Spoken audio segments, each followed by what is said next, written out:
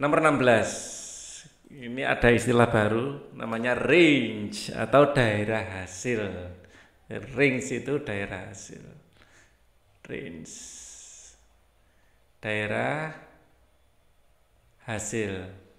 Jadi ada domain, ada kodomain, ada range. Nah, di sini ada persamaan kuadrat. Ya, persamaan kuadrat ini bisa difaktorkan enggak? Coba kalau bisa difaktorkan uh, kita ilustrasikan dulu biar paham bener-bener ini ceritanya seperti apa. Di sini X, di sini X, oh bisa ini, min 5 plus 3. Eh, plus, ya betul, min 5 plus 3.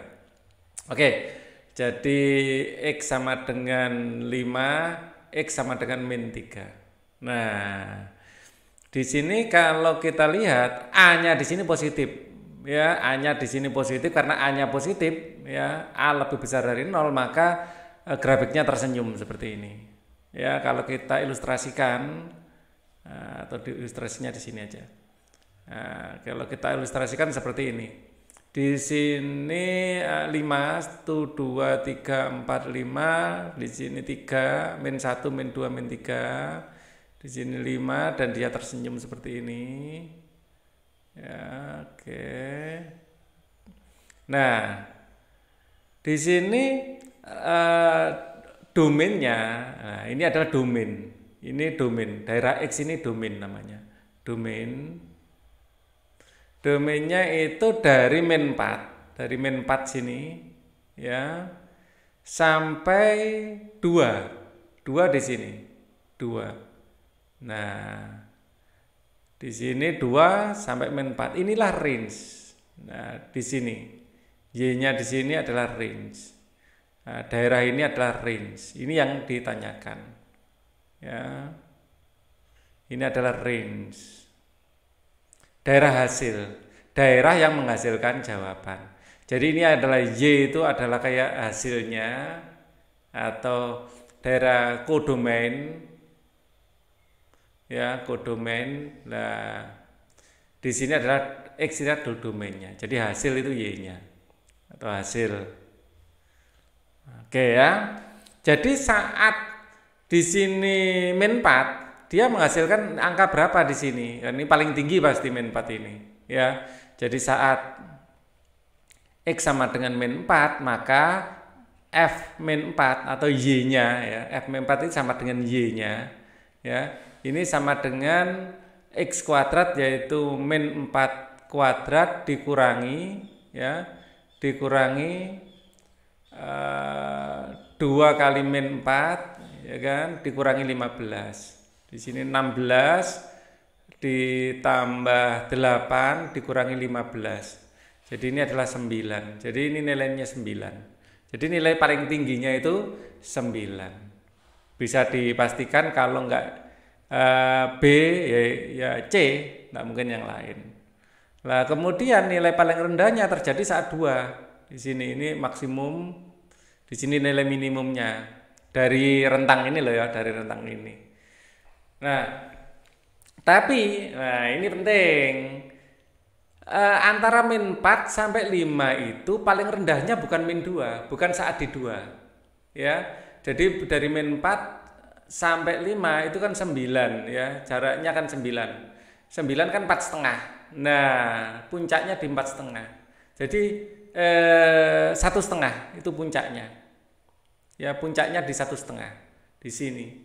Jadi lebih eh, puncak bawahnya itu bukan pada saat dua. Jadi kalau kita zoom itu nah, di sini puncak ya. Puncak itu terjadi saat 1,5 ya. Jadi antara e, min 4 tambah 5 kan 9 9 bagi 2 kan 4 setengah. Jadi mundur ke sini 4 setengah. 4,5 atau kita bisa gunakan rumus ya untuk puncak. Ya nanti kita gunakan rumus juga. Jadi ini adalah e, paling rendahnya. Nah kalau kita mau gunakan rumus puncak itu saat e, x nya puncak saat puncak bawah ya puncak bawah bawah saat x sama dengan uh, min B per 2A. Ini puncak bawah. Min B berarti B-nya adalah 2 per 2A. A-nya 1. 1. Ya, harusnya satu setengah. Puncak itu, wah ini rumusnya apa ya? Rumus puncak ini. Turunan pertama ya. Eh, sebentar, sebentar, sebentar, sebentar.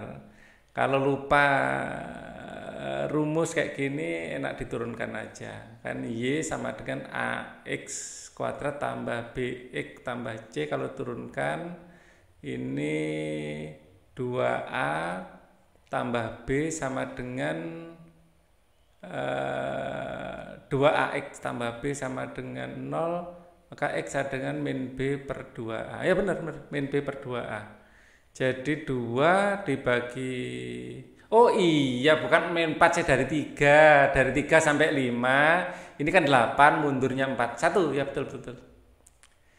Gara-gara ngelihat ini jadi salah. Harusnya kan dari ini titik potongnya terhadap sumbu X ini akar-akarnya kan 3 ya.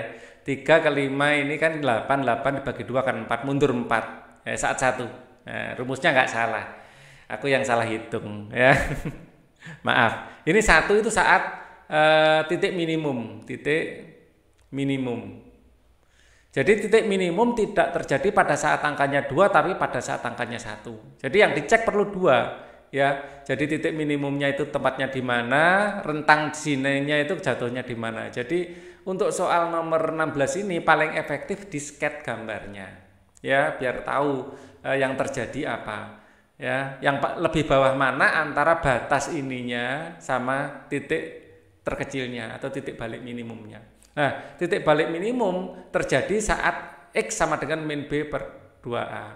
Ini adalah bisa diartikan ini adalah sumbu simetri, simetri, atau eh, absis dari titik balik minimum.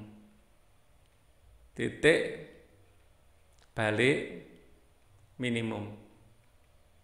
Nah, kalau kelas 10 belum eh, paham cara ini ya, ini dipelajari di kelas 11 ya ini tadi karena rupa rumus nah, akhirnya uh, menggunakan cara ini. Tapi nanti kelas 11 akan sangat memudahkan turunan ini.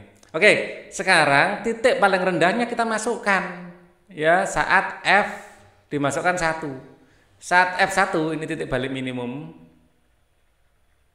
Minimum ya saat F, uh, F1 ya angka 1 didapatkan dari rumus ini ini adalah satu kuadrat dikurangi dua kali satu dikurangi 15 sama dengan satu dikurangi dua dikurangi 15 sama dengan loh berapa ya? 16 ya? Eh, eh 16 betul. Kok enggak ada di sini 16 oh ada ada ada dari min 16 sampai 9 nah Oke ya, di sini karena x-nya di sini ada sama dengannya, ya.